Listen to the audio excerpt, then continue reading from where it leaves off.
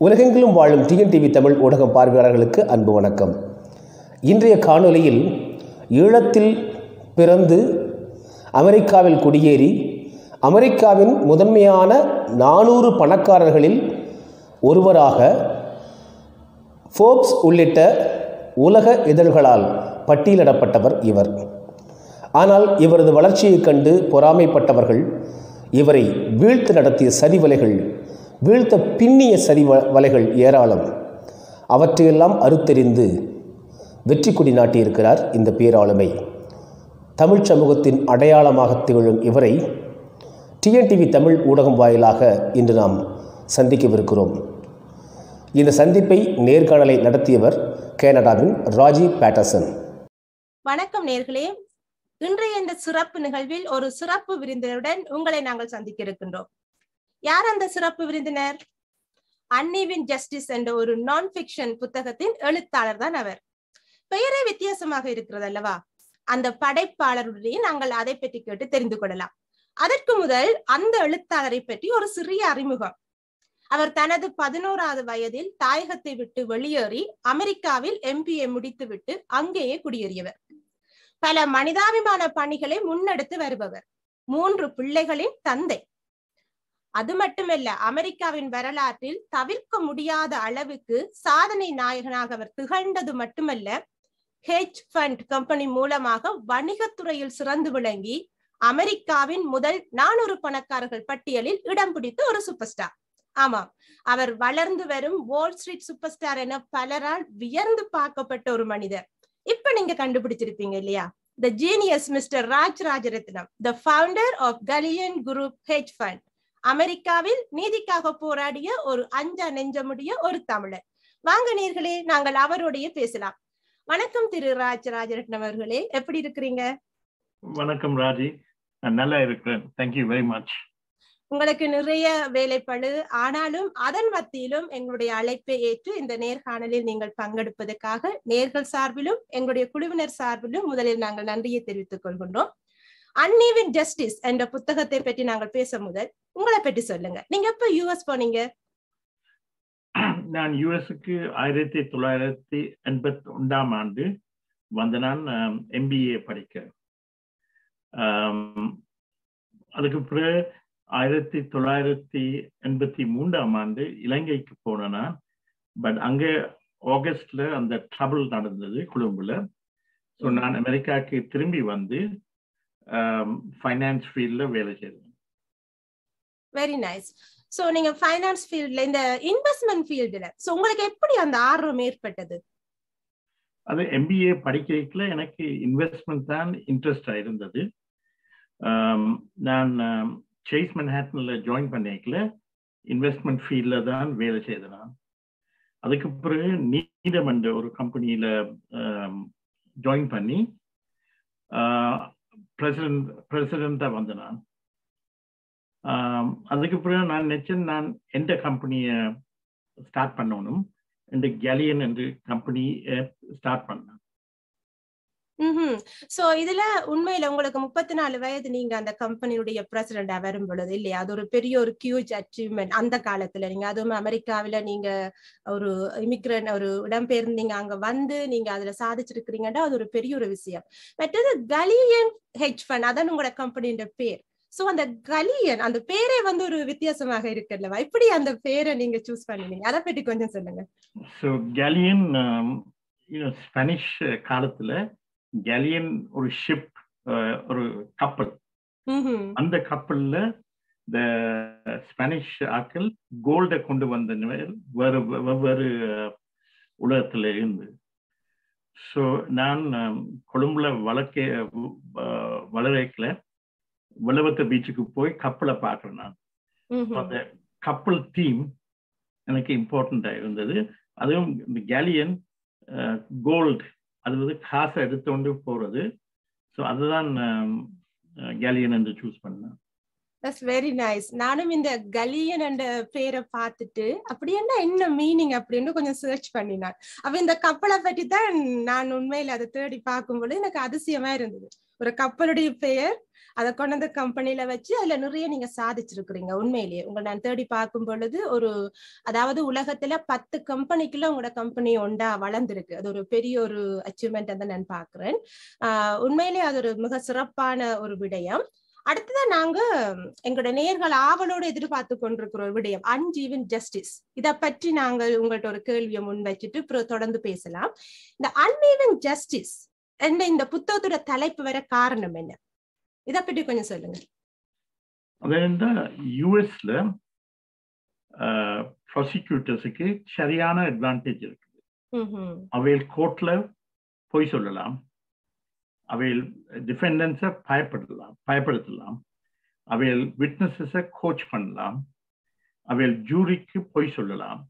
Defence ஆட்கள் இது செய்தா அவையில டிஸ்பா பண்ண வேணும் அது ஈவன் ஜஸ்டிஸ் இல்லை அதுதான் ninety five seven percent of the people.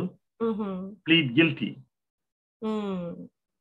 ட்ரையலுக்கு போக முதலே இது பயப்படுத்தி பீப்புளை கில்ட்டி ப்ளீட் பண்ணதான் ஜஸ்டிஸ் சிஸ்டம் செட்டப் பண்ணியிருக்கு. அத அத அதை பற்றி தான் நான் புத்தகத்தை அன்ஈவன் ஜஸ்டிஸ் என்று கூப்பிட்டேன் ம். உண்மைதான். பட் அமெரிக்கா நாங்க பார்க்கும் பொழுது அது ஒரு சுதந்திரமான ஒரு நாடாக நீங்க வந்து சுதந்திரமா பேசக்கூடிய ஒரு சூழல் இருக்கிற ஒரு நாடாக இருக்குது இல்லையா? அப்படிப்பட்ட ஒரு நாட்டுல வந்து அதாவது ஹியூமன் ரைட்ஸ் அது கூட வந்து நீங்கள் உங்களோட மனித உரிமைகளுக்காக போராட முடியும் நீங்க பேச முடியும். அப்படியான ஒரு நாட்டுல இப்படியான ஒரு நீதி பற்றி ஒரு சிஸ்டம் இருக்கிறது அப்படின்னு சொல்லிக்க உண்மையிலே ஒரு வியப்பா இருக்குது. இந்த கான்ஸ்டிடியூஷன் ம்ஹும். எழுதின people were white slave owners. அதுலேருந்து தான் ஜஸ்டிஸ் சிஸ்டம் கேம் அபவுட் இப்போ லண்டன்லேயோ ஸ்ரீலங்காலேயோ British காமன்வெல்த்தில் the constitutions was written by bureaucrats இங்கே constitutions were written by white slave owners ம்ஹும். and இப்போ 5% of the world's population live in America. 25% of the world's prison population is in America. ம். So justice un uneven இருக்குது அதை பற்றி கதைக்க ம். People பயம் ஆனா எனக்கு அந்த பயம் வேற இல்லை நிச்சயமாக. உங்களோட புத்தகத்தை வாசிக்கும் பொழுது அஹ், உங்களுடைய ஒவ்வொரு வார்த்தைகள்லையும் நீங்கள் எவ்வளவு தைரியமாக வந்து அஹ், போராடி இருக்கிறீங்க என்ற விஷயம் தெரியுது. நாங்க அதை பேச முதல் நான் நினைக்கிறேன் நாங்க அந்த ரெண்டாயிரத்தி ஒன்பதாம் ஆண்டு காலப்பகுதியில இருந்து ஒரு கேள்வியோட வரலாம் என்று. அதாவது ரெண்டாயிரத்தி ஒன்பதாம் ஆண்டு காலப்பகுதி என்றது உங்களோட வாழ்க்கையில ஒரு மறக்க முடியாத ஆண்டாக இருக்கும் என்று நான் நம்புறேன். அதுல வந்து ரெண்டு விடயம் உங்களோட வாழ்க்கையில நடந்திருக்கு. ஒன்று வந்து நீங்க ஃபோப் மெகசின்ஸ் அதுல வந்து உங்களோட அமெரிக்காவிலேயே நீங்க நானூறு பணக்காரர்ல ஒருவராகவும் உலகில வந்து ஐநூற்றி ஐம்பத்தி ஒன்பதாவது பணக்காரராக உங்களை நீங்க மதிப்பிடப்பட்டிருக்கிறீங்க. அது ஒரு such a great achievement so ஒரு உயர்ந்த இடத்துக்கு நீங்க வந்திருக்கிறீங்க. அதே ஆண்டுதான் ஆஹ் ரெண்டாயிரத்தி ஒன்பதாம் ஆண்டு அக்டோபர் மாதம் இன்சைடர் ட்ரேடிங்ல வந்து நீங்க குற்றம் சுமத்தப்பட்டு கைதாகி இருக்கிறீங்க. So very heart breaking situation right so ரெண்டு விஷயம். ஏன் அந்த ஹார்ட் பிரேக்கிங் சுச்சுவேஷன் சொல்றேன்டா? ஸோ அந்த அந்த சம்பவம் வந்து உங்களோட கலியன் குரூப் அந்த கம்பெனியை வந்து மூடுற அளவுக்கு கொண்டு போயிருக்குது. ஸோ எப்படி அந்த அந்த மனநிலை உங்களுக்கு எப்படி இருந்தது? ஒரே ஆண்டுல நீங்க ரெண்டு விடயத்தை சந்திச்சிருக்கிறீங்க. ஸோ எப்படி அந்த மனநிலை உங்கள்கிட்ட இருந்தது? Raji jealousy is a very bad emotion நான் அந்த ஃபோர்ப்ஸ் ஃபோர் ஹண்ட்ரட் லிஸ்ட்ல வந்தோடனே அது வரைக்கும் நான் ஒரு வரைக்கும் கதையாம குவாய்டா இருந்தேன் நான். அது வந்த உடனே என் பேர் பேப்பர்ல வந்து ஒரு Indian government prosecutor Preet Bharara அதை பார்த்துட்டு இவரை கொஞ்சம் இறக்கு you know must bring him down and. Surprisingly இந்த வீடுக்கு வந்து எஃபிஐ துவக்கோடு வந்து நான் மர்டர் இல்லை ரேபிஸ்ட் இல்லை நார்மலி அவைய லாயரோட எங்களோட ஆஃபீஸுக்கு வரணும்னு சொல்லுவீங்க. இது ஏர்லி மார்னிங் கேமரா எல்லாம் கூப்பிட்டு யூனோ உலகத்துல எல்லாம் இந்த படமும் இந்த மீடியா ஆர்டிகல்ஸும் போட்டவே. ம். அவையில் என்னென்றா நான் அவைகளுக்கு அடமையா வந்து வேற ஆட்களை பிடிச்சு கொடுக்கணும் என்று அவையில யோசனை. அது நான் செய்ய மாட்டேன். நான் பிழை செய்தேன் என்றா I will admit it and எந்த பனிஷ்மெண்ட்டை ஐ வில் டேக் ஆனா எங்கட சிஸ்டம் என்றா புல செய்த பீப்புள் வேற ஆளை காட்டி கொடுக்கலாம். அது அமெரிக்கன் சிஸ்டமுக்கு ஒரு யூனிக் ஃபீச்சர் இந்த அவையில் செய்த பிள்ளைகளை ஜெயிலுக்கு போகாம வேற யார காட்டி கொடுக்கிறது.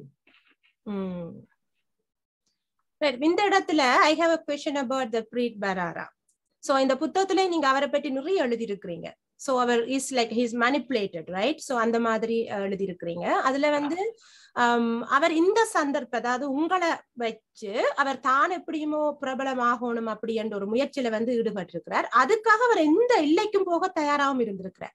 சோ அப்படிப்பட்ட ஒரு வழக்கறிஞருக்கு அவருடைய சூழ்ச்சியில நீங்க பலியாகி விட்டீங்க. அப்படி நீங்க உணர்றீங்களா? எப்படி ஃபீல் பண்றீங்க அது? யூனோ ப்ரீத் என்ற மைண்டுக்கு ஒரு ஸ்பேஸும் கொடுக்க மாட்டேன். அவர் எந்த எந்த கேஸால பெரிய புகழ் அச்சீவ் பண்ணியிருக்கிறார் ம். ஆனா புது பிரசிடென்ட் வந்தோடனே அவர் ப்ரீட்ட ஃபைவ் பண்ணார் ம். நான் டுவெண்ட்டி டுவெண்ட்டியில் ப்ரீத் பராரா சொல்லின ஒரு டாஸ்க் ஃபோர்ஸ் அசெம்பிள் பண்ணி சொல்லுவார் அந்த insider laws that he used to convict me is bad and should be changed ம். ஸோ இது கர்மா என்று வேர்டு இருக்குதா Yeah. Karma has come to him I don't worry about him Yeah.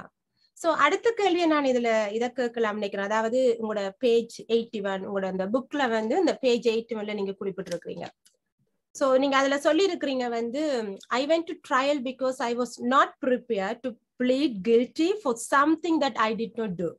So no matter what the ultimate cost so நீங்க ஒரு செய்யாத குற்றத்தை வந்து நீங்க ஒப்புக்கொள்ள எந்த சூழ்நிலையும் நீங்க தயாரா இருக்கையில அதுக்கு என்ன விலை இருந்தாலும் சரி நீங்க விசாரணைக்கு போய் போராட தயாரா இருக்கிறீங்கன்றத அதுல வந்து குறிப்பிட்டிருக்கிறீங்க. என்னுடைய கேள்வி என்னன்னா இந்த அமெரிக்கானுடைய நீதி அமைப்பை பற்றி நீங்க தெரிஞ்சிருக்கு உங்களுக்கு. அப்படி இருக்கும் பொழுது அந்த நீதி அமைப்பு உங்களை நியாயமாகவும் சமமாகவும் நடத்தும் என்று நீங்க எப்படி நம்பினீங்க? ஏன் நம்பினீங்க? ஏன் நம்பினபடியா நான் ஒரு பிளேம் செய்யல. அதுக்கு டாக்குமெண்ட்ஸ் இருந்தது. இந்த ட்ரேடிங் எல்லாம் எழுதி டாக்குமெண்ட் பண்ணி வச்சினாங்க. கவனமா. இப்ப உலகத்திலே வெவ்வேறு ஆட்கள் தங்கட பிலீஃபுக்கு சண்டை போட்டு இருக்கணும். இது எங்கட கண்ட்ரியிலேயும் இது ஹேப்பன் தெரியும் நான் அப்பா எனக்கு சொன்னார் மகன் நீ ஒன்றும் பிள்ளையா செய்யாட்டி சண்டைப்படி. டோன்ட் கிவ் இன் இப்ப எனக்கு என்ன அவள் வந்து சொல்லிச்சுன்னா பத்து ஆக்களை காட்டினா we will let you free என்று. அதுக்கு நான் தயாரா இருக்கேன்.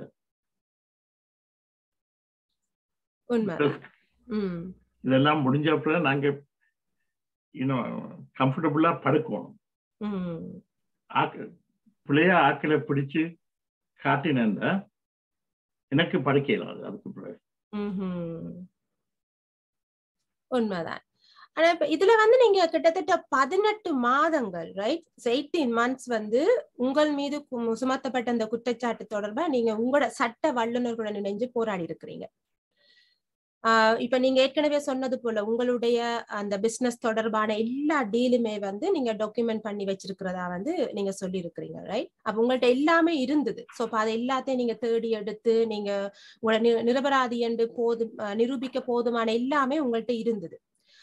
ஆனா வந்து நீங்க அதை வச்சு கொண்டு உங்களை நிரூபிக்க முடியல right so you went to you know different experience இதுல வந்து இன்னொரு விஷயத்தை நான் சொல்ல முடியும் வந்து இந்த பேஜ் ஃபிஃப்டி டூவில் டூ ஹண்ட்ரட் அண்ட் ஃபிஃப்டி டூவில் நீங்க குறிப்பிட்டிருக்கிற ஒரு விடயம் to the core of my being I trust the American justice system I believe that once the fact were establish the jury could understand I was innocent but நடந்தது வேற. நீங்க எல்லாமே document பண்ணி வச்சு அந்த டாக்குமெண்ட்ஸை கொடுத்துருக்கிறீங்க. அந்த டாக்குமெண்ட்ஸ்ல அவங்க எல்லாருமே அதை பார்த்து சரியா அதை அதை புரிஞ்சு கொள்றதுக்கு அவைக்கு நேரம் இருக்கையில அல்லது விருப்பம் இருக்கையில.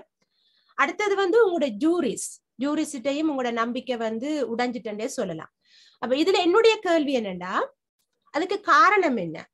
அடுத்து உங்களோட துறை சார்ந்த ஜூரிஸ் குழுவில வந்து பன்னெண்டு பேர் வருவினம். அந்த பன்னெண்டு பேர்ல உங்களோட துறை சார்ந்தவர்கள் அல்லது நிதித்துறையில நிபுணத்துவம் பெற்றவர்கள் அப்படி அந்த குழுவில இடம் பெற்றிருந்தார்களா?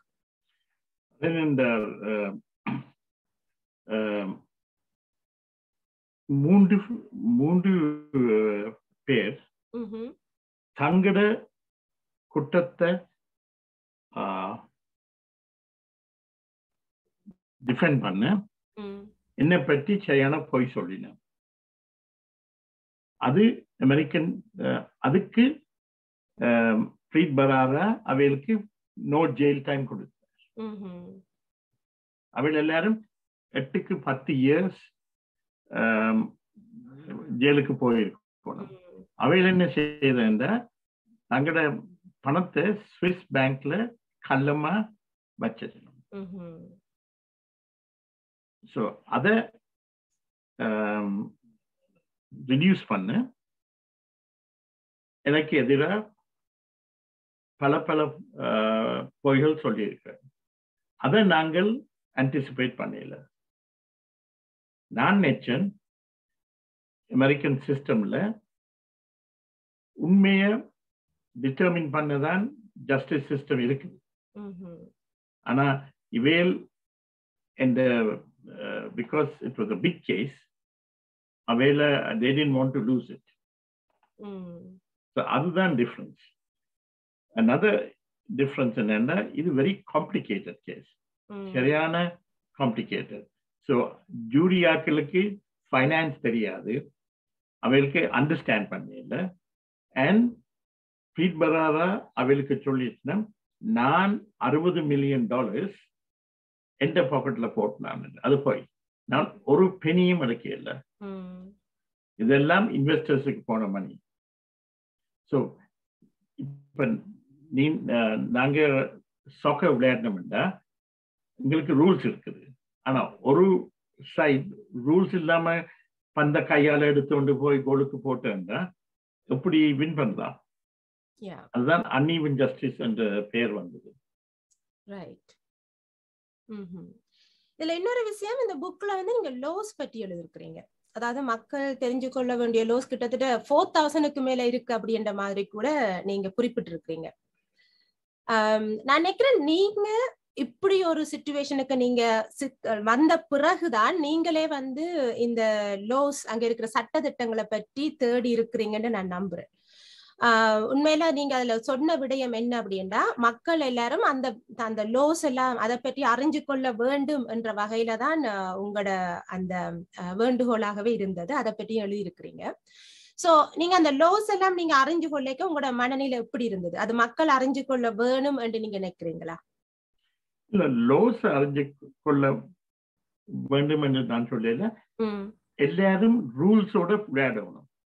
இப்ப இன்றைக்கு ப்ராசிக்யூட்டர் போய் சொன்னா அவருக்கு ஒரு கான்சிக்வன்ஸும் இல்ல. அந்த யோசனை தான் நான் பப்ளிசைஸ் பண்றேன்.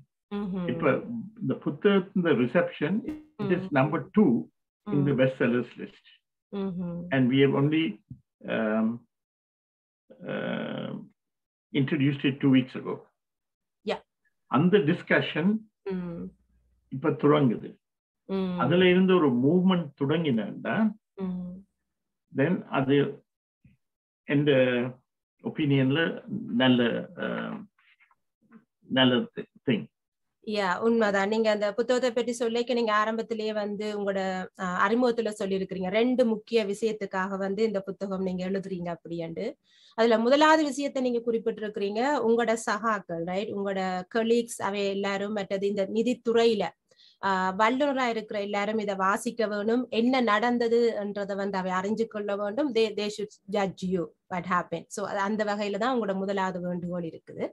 ஸோ இந்த புத்தகத்தினூடாக அந்த குறிக்கோளை அடைய முடியும் என்று நம்புறீங்களா.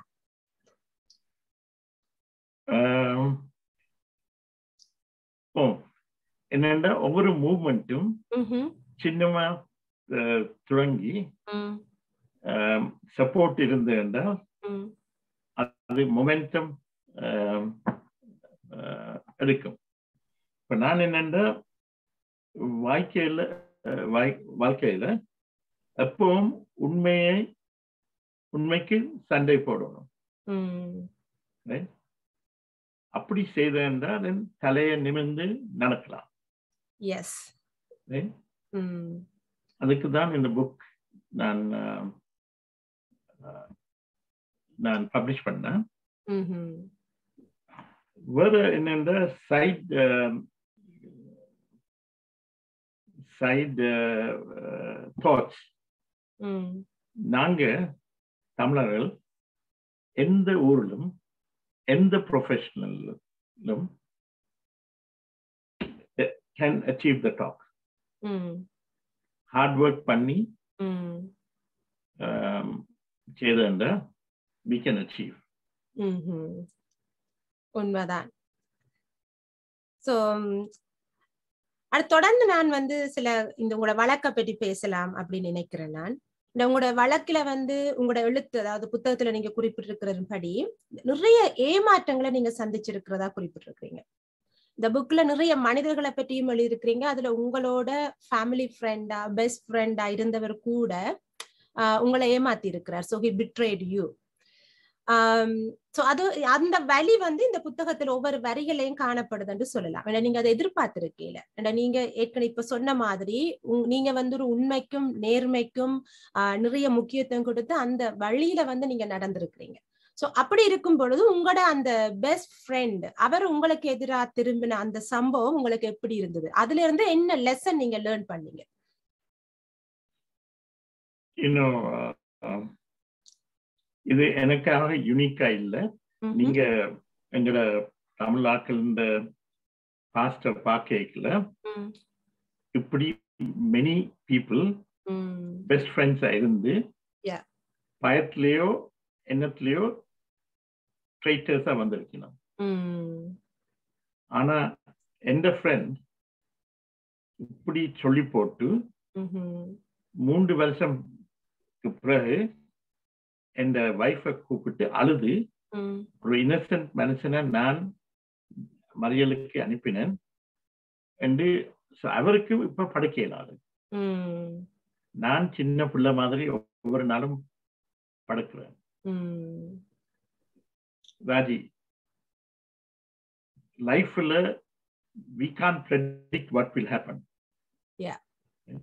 but how we react to it Yes. we can control Mm. so that's why my last Mm. sentence i have no regrets Mhm. Yeah. So இதுல இன்னும் ஒரு கேள்வி நான் உங்களை கேட்க விரும்புறேன் என்னன்னா இது உங்களோட ரெண்டாயிரத்தி ஒன்பதாம் ஆண்டு காலப்பகுதியில நீங்க அனுபவப்பட்ட ஒரு விடயம் முக்கியமான விடயம் வந்து மீடியா நீங்க ஏற்கனவே சொன்னீங்க அதாவது உங்களை அரெஸ்ட் பண்ண வரைக்கும் அந்த எஃபிஐ வந்து மீடியா எல்லாரோடையும் தான் வந்து உங்களை அரெஸ்ட் பண்ணதாக அப்போ ஏற்கனவே வந்து நீங்க குற்றவாளி என்று நிரூபிக்கவே இல்லை. ஆனா உங்களை குற்றவாளி மாதிரி வந்து ஒரு சூழ்நிலையை கிரியேட் பண்ணின ஒரு விடயம் வந்து அப்ப நடந்தது. இது உண்மையிலே நீங்க எதிர்பாராத ஒரு விடயம் கூட. ஆஹ் அதுல இந்த மீடியா வந்து செய்திகள் வெளியிடும் பொழுது கிரீட் அண்ட் கரப்ஷன் அதான் முக்கியமா வந்து உங்களை பற்றி வெளியிட்ட ஒரு விடயம். அது உண்மையா ரொம்ப நீங்க வந்து you feel very you know painful அந்த வார்த்தைகள் வந்து நிறைய மன அழுத்தத்தை உங்களுக்கு கொடுத்ததா வந்து புக்ல வந்து எழுதியிருக்கிறீங்க. இதுல இத பற்றி நீங்க என்ன சொல்ல விரும்புறீங்க? மீடியா எப்படி வந்து ஒவ்வொரு மனிதர்கிட்ட அந்த மீடியான்றது உண்மைக்கும் நேர்மைக்கும் நிக்க வேண்டிய ஆக்களா இருக்கணும் ஒரு விடயம் வருகுதுண்டா அதை ஆராய்ச்சி செய்து சரியான விடயத்தை மக்களுக்கு கொண்டு போக வேண்டிய இடத்துல இருக்கணும் சோ வேண்ட பொறுப்பு. இந்த இடத்துல நீங்க அதை என்ன சொல்ல விரும்புறீங்க? அது மீடியா இப்ப என்ன இன்டர்வியூ பண்ணி அவைகளுக்கு தாங்கள் செய்த உம் இப்ப சர்ஃபேஸுக்கு வந்திருக்குது. எஸ் இது என்னென்றா ப்ரீட் பராரா மீடியாவை மெனிப்புலேட் பண்ணியிருக்கிறார். ஃபார் எக்ஸாம்பிள் நான் அறுபது மில்லியன் டாலர்ஸ் என்ற பாக்கெட்ல போட்டினான் நீங்க சொல்லபடி அதுக்கு மேல அதுக்கு கிரேட்டர் தென் அறுபது மில்லியன் நான் சேரிட்டிக்கு கொடுத்திருக்கிறேன் போத். ஸ்ரீலங்காவில் அமெரிக்காவிலே வேற ஏரியாஸ்ல அப்படி கிரீடியண்டா நான் எல்லா காசையும் எந்த பக்கத்துல வச்சிருப்பேன். இவேல் என்னன்னா நான் சக்சஸ்ஃபுல் என்ற படியா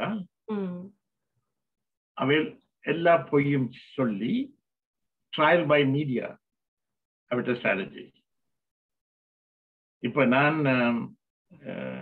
ஒரு மீடியால் என்ன கேட்டார் will you debate Preet Bharara on TV என்று. I of course i have the truth on my side. உண்மை இருந்து என்றால் ஏன் பயம்? எக்ஸாக்ட்லி அவர் வர மாட்டார் நிச்சயமாக உண்மைதான். ஆனாலும் இதுல ஒரு கேள்வி என்னட்ட இருக்கு. இந்த புக்ல நீங்க அதை குறிப்பிட்டிருக்கிறீங்க. அவை அந்த கிரீட் என்று சொல்லி கரப்ஷன் என்று சொல்லி ஃபோக்கஸ் பண்ணின அதே இடத்துல நீங்க உங்களோட அந்த சேரிட்டிக்கு நீங்க சரியான ஜெனரஸா இருந்திருக்கிறீங்க. நிறைய பேருக்கு நீங்க ஹெல்ப் பண்ணியிருக்கிறீங்க. ஆனா அத வந்து கணக்குல எடுக்கவே இல்லை. இந்த புக்கின் படி நான் வாசிக்கும் பொழுது அதைத்தான் நான் புரிஞ்சு கொண்டேன் அதாவது அந்த விஷயம் நீங்க எவ்வளவு பேருக்கு அந்த சேரிட்டி கொடுத்திருக்கிறீங்க அந்த விடயங்களை பற்றி அவை கணக்குல எடுக்கவே இல்லை. அதை வந்து இக்னோர் பண்ணியிருக்கலாம் சோ அதை பற்றி நீங்க என்ன நினைக்கிறீங்க? என்ன சொல்ல விரும்புறீங்க? அது ஒரு முக்கியமான ஒரு பாயிண்ட் என்ன உங்களோட அந்த வழக்கில வந்து முக்கியமான ஒரு விடயமா இருந்திருக்கு? அதுதான் நான் அன்இவன் ஜஸ்டிஸ் என்று புத்தகத்தை கால் பண்ணேன். இப்ப இலங்கையில சுனாமி டூ தௌசண்ட் ஃபோர்ல சுனாமி வந்தபடி நான் ஒரு ஃபிஃப்டீன் மில்லியன் டாலர்ஸ் மீன்பிடிக்காரர்களுக்கு வீடு கட்டினான்.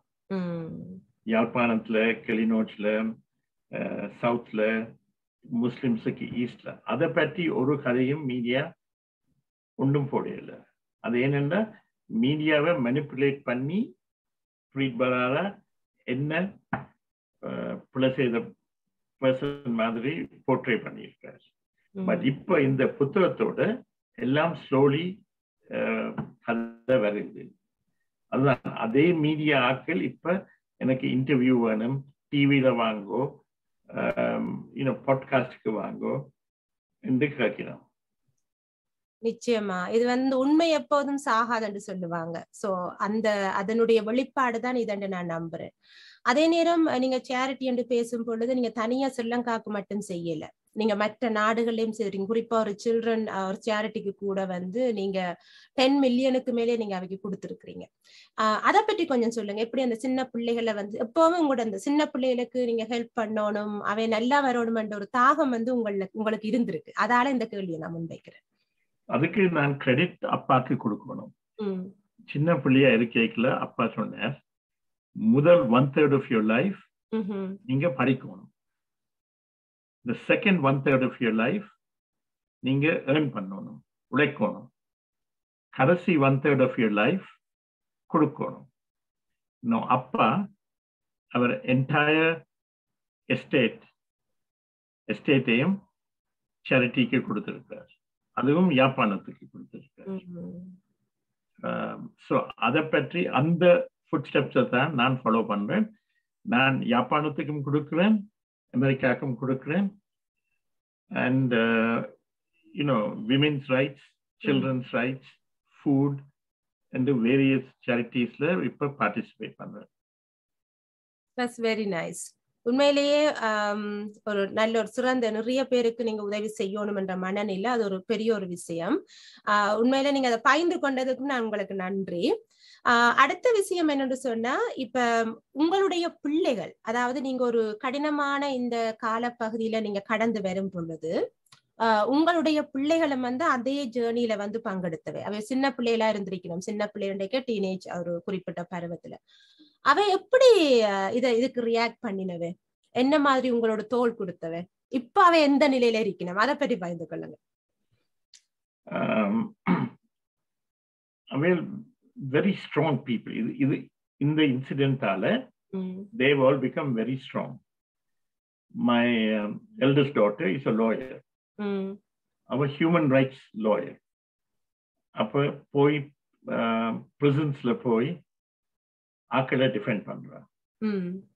இந்த செகண்ட் டாட்டர் ஹெல்த் கேர்ல பாலிசி பப்ளிக் ஹெல்த் செய்கிறார் அண்ட் மகன் என்னோட இன்வெஸ்ட்மெண்ட் செய்கிறார் ஆனா நாங்க இப்ப யாழ்ப்பாணத்துல ஒரு வீடு கட்டுறோம்.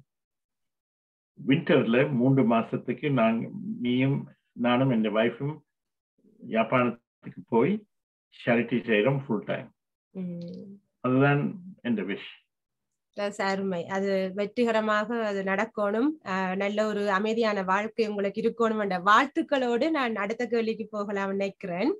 ஆஹ் உண்மையில நீங்கள் வந்து ஜெயில இருந்தாலும் உங்களுடைய பிள்ளைகள் எல்லாருமே குடும்பத்தோட சப்போர்ட் பண்ணிருக்கணும் ஈவன் உங்களோட புக்ல வாசிக்க வந்து ஆஹ் உங்களோட பிள்ளைகள் வந்து அவை சொல்லியிருக்கணும். They're very proud of you நீங்கள் அந்த ஃபைட் பண்ணினதுக்காக அதுக்கே அவை சந்தோஷப்பட்டிருக்கணும் நீங்க ஒரு நீதிக்காக நீங்க வளைஞ்சு கொடுக்கல நீதிக்காக நின்று போராடி இருக்கிறீங்க.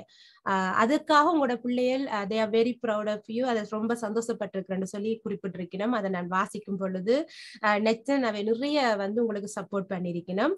அதுவே ஒரு சச் அ பிளஸ்ஸிங் என்ன ஒரு குடும்பம் அண்டைக்க குடும்பமா வந்து துணையா நிக்கிறதுன்றதே பெரிய ஒரு பிளஸ்ஸிங் அது உங்களுக்கு கிடைச்சிருக்குது.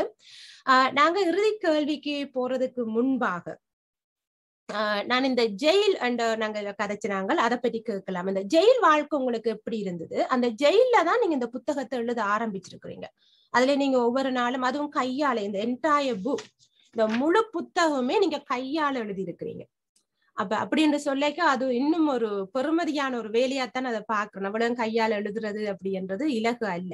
அப்ப அதை பற்றி அந்த புத்தகம் எழுதின அனுபவத்தை பற்றி கொஞ்சம் எங்களுக்கு சொல்றீங்களா? ஸோ இந்த புத்தகத்தை கையால எழுதிக்கல.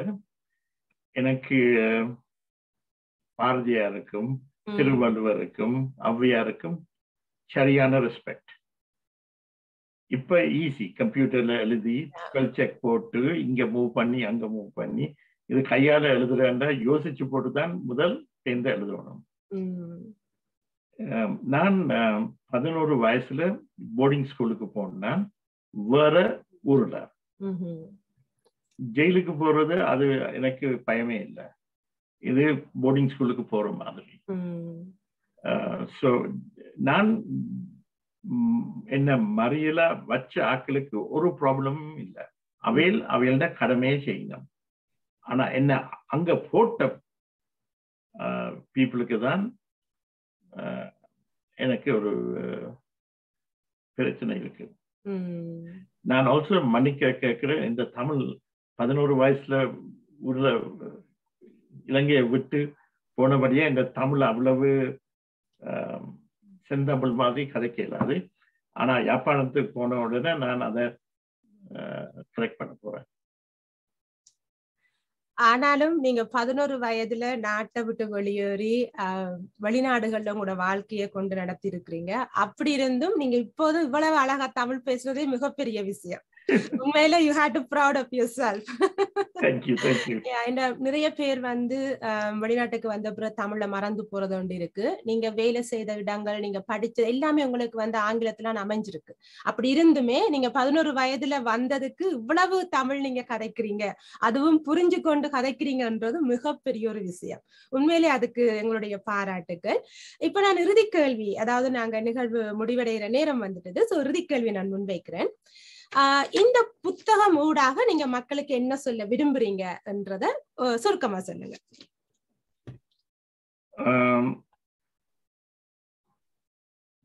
உண்மையை டிஃபீட் பண்ண இயலாது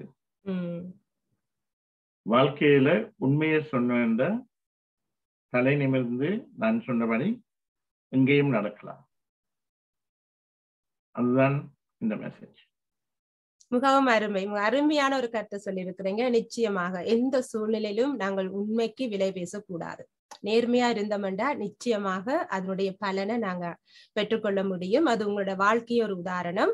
அஹ் குறிப்பாக இன்றைய இளைஞர்களுக்கு நீங்க ஒரு சாதனையாளர். ஒரு நாட்டை விட்டு நீங்க வெளியேறி இன்னும் ஒரு நாட்டுல குடியேறி நீங்க வரலாற்றுல இடம் பிடிச்சிருங்க. என்னதான் நடந்தாலும் அந்த அமெரிக்கா வரலாற்றுல இருந்து உங்களோட பேர் எடுக்கவே முடியாது. அந்த அளவுக்கு ஒரு வரலாற்று நாயகனாக நீங்க விளங்கி இருக்கிறீங்க எல்லாரும் உங்களை திரும்பி பாக்குற அளவுக்கு நீங்க ஒரு பெரிய ஒரு சாதனையாளர். அப்படிப்பட்ட ஒரு சாதனையாளரா இன்றைய இளைஞர்களுக்கு நீங்கள் சொல்லக்கூடிய ஆலோசனை அல்லது அறிவுரை. படியுங்கோ ஹார்ட் ஒர்க் பண்ணுங்க. எல்லாம் உங்களுக்கு வரும். காசை மேல கொண்டு போயிடாது. ஸோ எங்களோட கம்யூனிட்டியை ஹெல்ப் பண்ணுங்க. மிகவும் அருமை.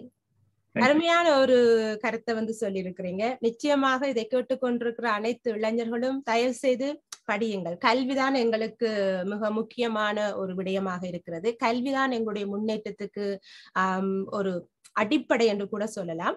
ஆஹ் நாங்கள் நேர்களே நிகழ்ச்சியின் இறுதிக்கட்டத்துக்கு வந்துவிட்டோம். நாங்கள் நாங்க நிறைய பேசலாம் பேசிக்கொண்டே இருக்கலாம். ஆனால் நேரம் போதாது. ஆகவே இன்றைய இந்த சிறப்பு நேர்காணலை நிறைவுக்கு கொண்டு வர வேண்டிய தேவை எங்களுக்கு இருக்கின்றது. இன்றைய இந்த சிறப்பு நேர்காணலூடாக பல விடயங்களை நீங்கள் அறிந்து கொண்டிருப்பீர்கள் என்று நான் நம்புகின்றேன். அச்சமில்லை அச்சமில்லை அச்சம் என்பது இல்லையே இச்சகத்துள்ளோரெல்லாம் எதிர்த்து நின்ற போதிலும் அச்சமில்லை அச்சமில்லை அச்சம் என்பதில்லையே. துச்சமாக எண்ணி நம்மை தூறு செய்த போதினும் அச்சமில்லை அச்சமில்லை அச்சம் என்பதில்லையே. இது மகாகவி சுப்பிரமணி பாரதி கூறியது. இந்த வீரியம் மிக்க வரிகளுக்கேற்ப அமெரிக்காவில் மிக தைரியமாக நீதிக்காக போராடிய ஒரு தமிழனின் அனுபவம் அன்ஈவன் ஜஸ்டிஸ் என்னும் நூல் வடிவில் வெளிவந்திருக்கின்றது. ஒரு பாரதியார் ஆல்சோ said தமிழன் என்று சொல்லடா தலை நிமிர்ந்து நில்லடா. நிச்சயமாக நிச்சயமாக. அருமையான ஒரு வரி. அதை அனைவரும் நாங்கள் மனதில் இருத்திக் கொள்வோம் நாங்கள் அனைவரும் தலை நிமிர்ந்து நிற்க வேண்டும். நேர்களே நீங்கள் அனைவரும் இந்நூலை வாங்கி வாசியுங்கள். நடந்த உண்மையினை அறிந்து கொள்ளுங்கள். திரு ராஜ் ராஜரத்னம் அவர்கள் கூறியது போல நாங்கள் தமிழன் என்று சொல்லுவோம் தலை நிமிர்ந்து நிற்போம் என்று அந்த வேண்டுகோளை நான் முன்வைத்துக் கொண்டு திரு ராஜ் ராஜரத்னம் அவர்களுக்கு எங்களோடு இணைந்து இந்த நிகழ்வை சிறப்பித்ததற்காக நாங்கள் மீண்டும் நன்றிகளை தெரிவித்துக் கொண்டு நேர்கள் அனைவரின் சார்பாக வாழ்த்துக்களையும் தெரிவித்துக் கொள்கின்றோம். உங்களிடமிருந்து விடைபெற்றுக் கொள்ளும் நான் ராஜு பேட்டர்ஷன் வணக்கம் நேர்களே.